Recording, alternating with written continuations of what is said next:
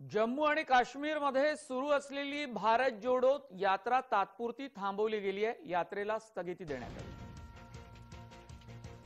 राहुल गांधी यांच्या भारत जोडो यात्रामध्ये सुरक्षा व्यवस्थेत त्रुटी असल्याचा काँग्रेसनं आरोप केला. जम्मू आणि काश्मीरमध्ये पदयात्रा ही अंतिम टप्प्यात पोहोचली आहे. तीस जानेवारी रोजी या पदयात्रेची सांगता होणार आहे. खासदार राहुल गांधी यांच्या नेतृत्वाखालील काँग्रेसची भारत जोडो यात्रा सध्या अंतिम टप्प्यात आहे. येत्या तीस जानेवारी रोजी राहुल गांधी काश्मीरमध्ये तिरंगा फडकवणार असून त्यानंतर या यात्रेची सांगता होणार आहे.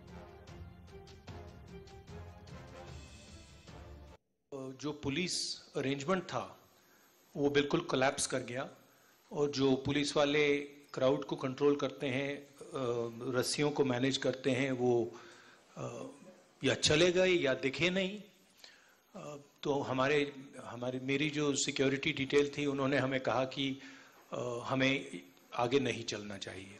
इसलिए हम नहीं चल पाए। एडमिनिस्ट्रेशन की ज़िम्मेदारी है कि जो क्राउड कंट्रोल होता है पुलिस का जो रोल होता है, उसको गारंटी करें।